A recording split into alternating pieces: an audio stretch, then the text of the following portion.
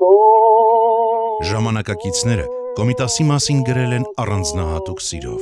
Գրել են հասկանալով, որ գործ ունեն ոչ միայն երաժշտական հանճարի, այլև երևելի, եզակի, բացառիկ անհատականության հետ։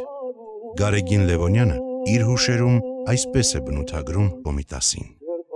Իր խոշոր գործի մեջ միշտ համեստ, բարեհամբույր եւ ոչ իրեն ցուցադրող, այլ անձն իր աշխատանքների ցալքերում թաքցնող։ Այսպես էր Կոմիտասը։ Տեսել եք նրան կյանքի ու գործի մեջ։ Լսել եք դուք երբևէ նրա երկեցիկ խմբի համերգը կամ իր մեծ վարպետի մեներքը։ Մոկաց Միրզեն, Սիրտս նման է եւ նման ժողովրդական սքանչելի ստեղծագործությունների կատարումները։ Երկարաշունչ, թաղծալի, բայց եւ թովիչ եւ հոգեզմայլ իր գրական ուսումնասիրություններին, իր երաժշտական ստեղծագործությունների պահերուն խոհուն, ծանր եւ զուսպ, ինչպես մի գերման գիտնական։ Իր դպրոցական մանկավարժական պարապմունքների, իր համերգային փորձերի ժամանակ լուրջ, խիստ եւ պահանջկոտ։ Որքան փոխվում էր այդ մարդը կյանքի մեջ, ազատ եւ հանգստի ժամերին, ընկերական եւ ընտանի շրջաններում։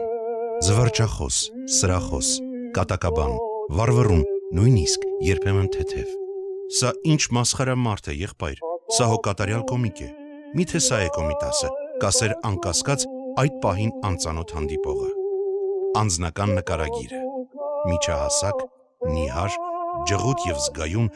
դեմքը դեղնավուն, աչքերը արտահայտիչ եւ վարվռուն։ Գլուխը ճաղատ, մորուքը ոչ վարդապետավայել այլ ծնոտի տակ միայն թողած, այսպես կոչված Վագներյան։ Ինքը արագակայլ եւ անհամբեր, միշտ շտապող, միշտ աշխատասեր, կյանքից գոհ, լավատես։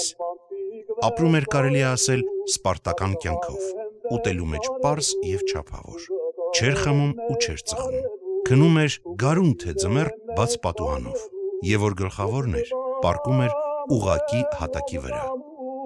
գրում էր գեղեցիկ, իր իսկ տողած թղթի վրա, այնպես, որ նրա ձեռագրից կարելի էր ուղակի կլիշե պատրաստել։ Ամենայն հայոց կաթողիկոս Վազգեն առաջինը Կոմիտաս վարդապետին այսպես է բնութագրել. Հայ ժողովուրդը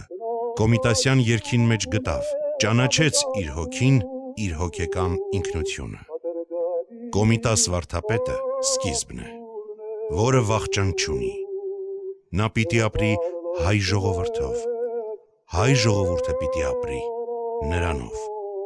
Ինչպես այսօր, այնպես էլ հավիտյան։